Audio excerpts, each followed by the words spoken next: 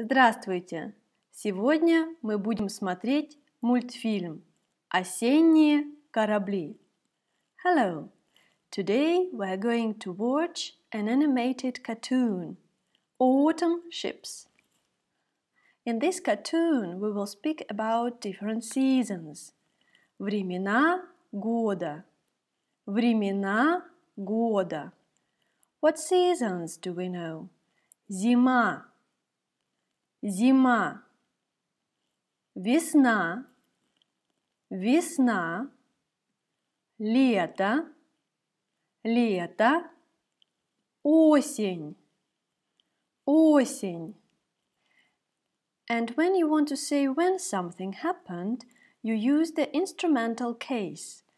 So you say зима, зимой, весна, весной. лето летом, осень осенью. О чем вы мечтаете осенью? Мечтать means to dream of. Or is a preposition and this preposition needs the prepositional case, usually with the ending yeah at the end. So, what do you dream of in autumn? You can write out your answers. О чем вы мечтаете осенью? Запишите ваши ответы в тетрадь. My suggestions are the following. Я мечтаю о лете. Я мечтаю о море. Я мечтаю о солнце. So repeat again, please. О лете о море, о солнце. Very nice. So when we need prepositional case to designate the place, в городе, to designate the person or object talked about, о городе, to indicate the month or year, age or a period of life, в мае. Usually to the stem we add the ending «е». Город в городе. Сестра о сестре. Море о море. And when nouns end in «ие», «ия», «ий», then in the prepositional case they have the ending «и». Санаторий в санатории. Россия в России. Общежитие в общежитии. And then there is a limited number of monosyllabic masculine nouns that take the stressed ending u, u. You should use grammar reference book and learn all these nouns by heart. For example, лес в лесу, порт в порту, шкаф в шкафу. Very nice. Как вы думаете, о чем мечтают осенью маленькие ежики? Ежик is a diminutive form of еж, a hedgehog. So you can use the picture as a help. Write out your answers. Вы можете использовать картинку как маленькую подсказку. Выпишите ваши ответы в тетрадь. You can stop the video and write out your answers. Вы можете остановить видео в любой момент. Ежики мечтают о тыкве. Тыква is a pumpkin. О кукурузе. Corn. О кукурузе. О помидоре. About a tomato. О помидоре. О кабачке. About zucchini. О кабачке. О перце about pepper, a perce. And now we are going to watch the first part of our cartoon and after watching try to answer the question What did the hedgehog dream of? Посмотрите первую часть видео и попробуйте ответить на вопрос, о чем мечтал маленький ежик.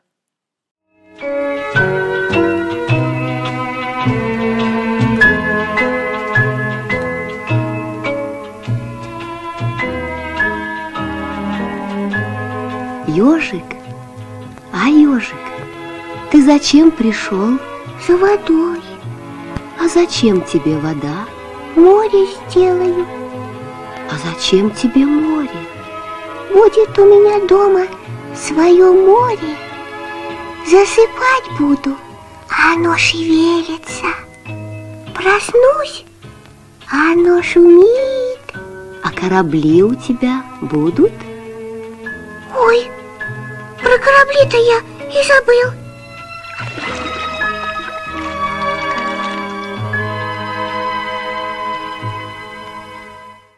I hope it was not very difficult to understand that the hedgehog dreamt of a ship. Ежик мечтает о корабле. Ежик мечтает о корабле. And now we are going to watch the second part of the video and find out if the hedgehog found the ship. А сейчас мы посмотрим вторую часть видео и узнаем, нашел ли маленький ежик корабль. Здравствуйте.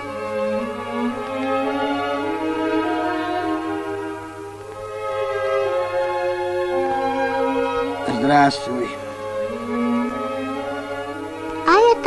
Что у вас? Это сапог. А зачем? Зачем? Самовар раздую, чаю выпью. Хочешь со мной чайку попить? Хочу. И я хочу.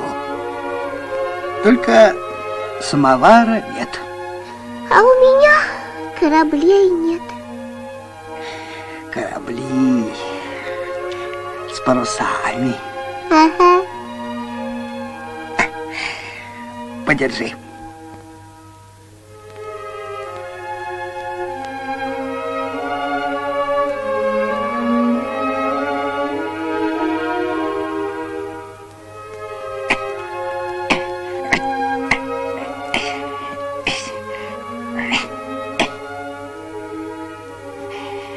Говорят, в Африке зимы нет.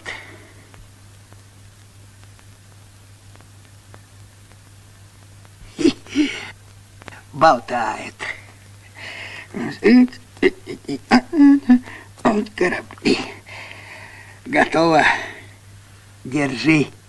Ой, настоящий морской.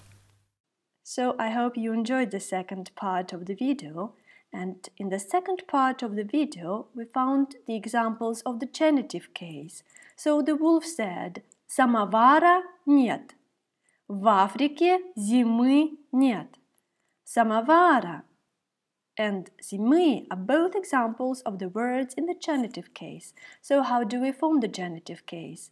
Masculine and neutral nouns, if they had the hard stem, they take the ending a. Film, фильма. Слово, слово. And if they have the soft stem, then they take the ending я. Кремль, Кремля. Море, моря. And now the feminine nouns. If they have the hard stem, then they have the ending ü in genitive. Фирма, фирмы. If they have a and if they have a soft stem, then they have the ending e in genitive. Тетя, тети. If they end in g, k, h, the stem ends in g, k, h, then the ending is e in genitive. Книга, книги. And if feminine nouns end in iya, then they have the ending e in genitive. Россия, Россия. And now a small grammar exercise. You can see several pictures on the slide. Try to write out their names in the nominative case and in the genitive case. А сейчас грамматическое упражнение. На слайде вы видите некоторые картинки. Пожалуйста, напишите, что это в именительном падеже и в родительном падеже. Вы можете остановить видео и сделать записи в тетрадь. You can stop the video and make notes in your exercise books. And now we are going to check our answers. зима, зимы, весна, весны, лето, лето, осень, осени, волк, волка, еж, ежик, ежа, ежика, корабль, корабля. In the second part of the video, we also found the verb болтать. The wolf said, говорят, в Африке зимы нет. Болтают. So what does it mean, болтать? Usually it means to babble, to talk needlessly or endlessly. Много говорить, обычно вздор, пустяки или не то, что следует. Or to talk nonsense, to think up, to tell stories, to lie. So here the verb болтать means to lie. So it's not true that there is no winter in Africa. And finally the third part of the video, the ending of the cartoon. Enjoy watching it. А сейчас третья часть видео.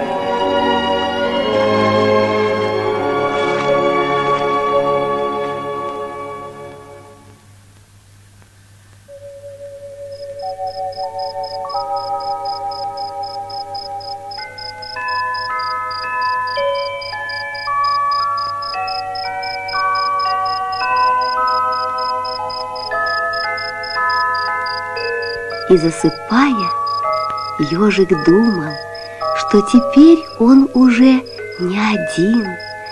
В эту долгую снежную зиму с ним вместе будет большое, теплое, ласковое море. After watching the third part of the video, try to answer the following questions. Choose the correct answer. Когда ежик спал зимой, он думал, что А. Он один, Б. Он не один, с ним море. Зима была А. Долгая и снежная, Б. Короткая и дождливая. Море было большое и теплое, маленькое и холодное. Слово ласковое означает А. Неприятное, Б. Приятное. Choose the correct answer. Выберите правильный ответ. Когда ежик спал зимой, он думал, что он не один, с ним море. Зима была долгая и снежная. Море было большое и теплое. Слово ласковое означает приятное. That is all for today. Thank you very much for your attention. See you soon. Спасибо большое за внимание. До скорых встреч. Enjoy the autumn. Наслаждайтесь этой осенью.